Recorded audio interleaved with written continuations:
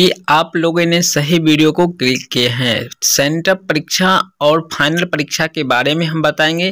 परीक्षा फॉर्म कब से भराया जाएगा? परीक्षा शुल्क और डॉक्यूमेंट्स कौन कौन से लगने वाला है? जैसे कि आप लोगों ने पढ़े होंगे, इससे पहले या कहीं ना कहीं आप सूचना को देखे होंगे कि कुछ ऐसे डॉक्यूमेंट्स हैं जो अगर आपके पास नहीं होते हैं तो आप बिहार बोर्ड दो हज़ार चौबीस का परीक्षा फॉर्म नहीं भर पाएँगे। तो ऐसा कौन कौन सा डॉक्यूमेंट्स होने वाला है? या फिर वो जानकारी जो आपको किसी ने दिया वो गलत था या फिर सही था, ये आपको आज क्लियर कर देंगे हम इस वीडियो में।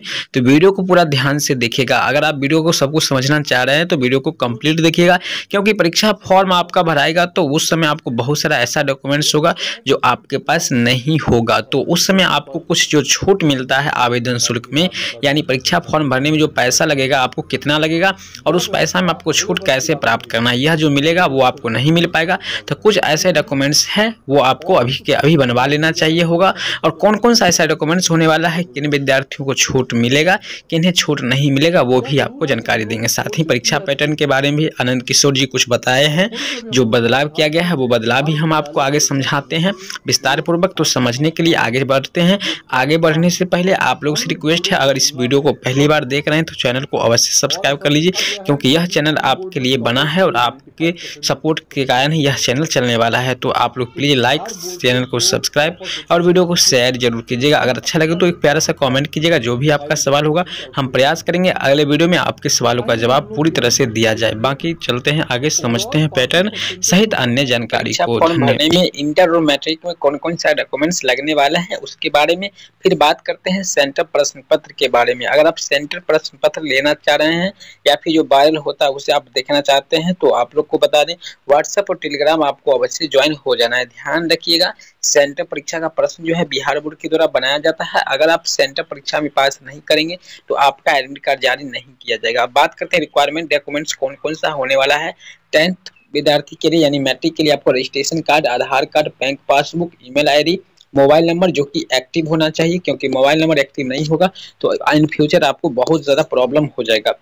उसके बाद आपको स्टूडेंट का हिंदी, इंग्लिश में सिग्नेचर चाहिए, पेरेंट्स का सिग्नेचर, फ़ोटो, जाति, आवासीय और आय प्रमाण पत्र जो आपका होना चाहिए, ये आपका 2023 का होना चाहिए। तो सभी विद्यार्थी अभी कभी इस आय प्रमाण पत्र को बनवा लीजिए। अगर यह नहीं बनवाते हैं तो आपके साथ प्रॉब्लम हो सकता है। साथ ही आधार कार्ड आपको परीक्षा पर, सेंटर पर भी लेकर जाना होगा।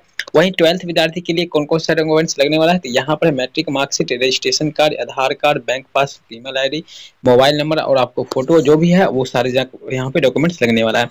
अब बात करते हैं परीक्षा फॉर्म कब से आपका भरा जाएगा। तो यहाँ से आप देख सकते हैं फॉर्म जो है अप्लाई जो है अक्टूबर तक, अक्टूबर से नवंबर तक कर लिया जाएगा इंटर मैट्रिक दोनों का। हालाँकि पिछले वर्ष की बात की जाए तो पिछले वर्ष 25 सितंबर तक 15 से लेकर के 25 सितंबर तक इंटर परीक्षा फॉर्म भरा गया था, जबकि मैट्रिक परीक्षा फॉर्म सितंबर के अंतिम सप्ताह शुरू हुआ था, जो कि अक्टूबर भर चला था। वहीं बात करते हैं फ़ी के बारे में। तो जो स्कूल कॉलेज सरकारी होते हैं, वहाँ पे हज़ार से पंद्रह सौ तक में आपका परीक्षा फॉर्म भर लिया जाता है। वहीं प्राइवेट कॉलेज की बात करते हैं, पंद्रह सौ से तीन हज़ार तक आपको लिया जाएगा।